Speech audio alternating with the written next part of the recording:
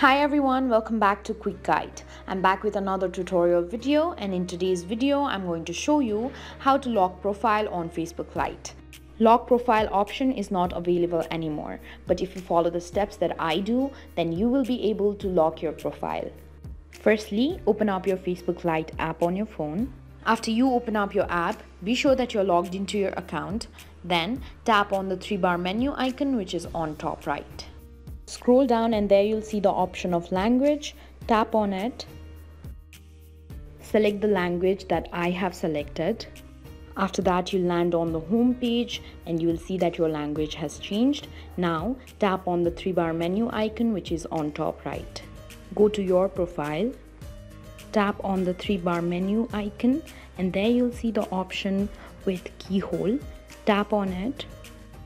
A notification will pop up on your screen tap on the blue bar. Again tap on blue bar.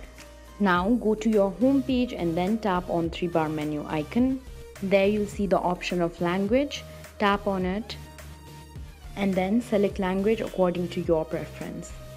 This way your language has been changed. Again tap on the three bar menu icon. Go to your profile.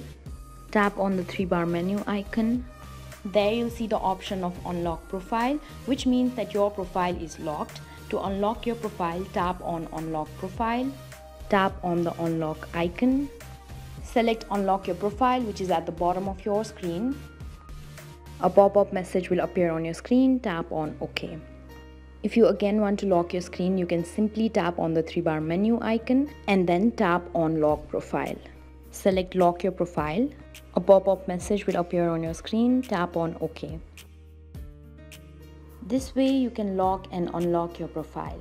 Thank you for watching. If you like the video, please hit the like button. If you want to see more tutorial videos, hit the subscribe button. And if you have something to say, please leave a comment.